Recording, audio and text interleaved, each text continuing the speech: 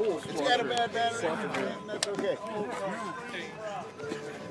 Okay, this is a whole lot of truck for not a whole lot of bucks.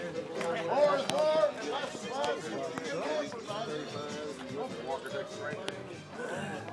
He's the reason I fell in love with him, man.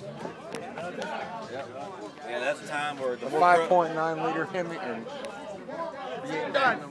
293 horsepower. You see, yeah, when this when this first came out, man, the more chrome you had on your truck, the cooler it was. She got a disc whiskey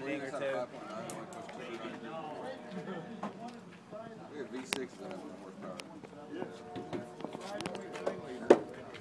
Three point seven liter.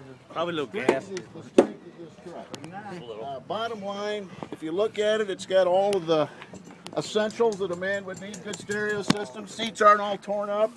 Inside, clean machine. Guy took care of it. Ninety-nine, ninety-five. Wow. Extra cab. Add to the bone, baby. That's a bargain, man. Bargain City.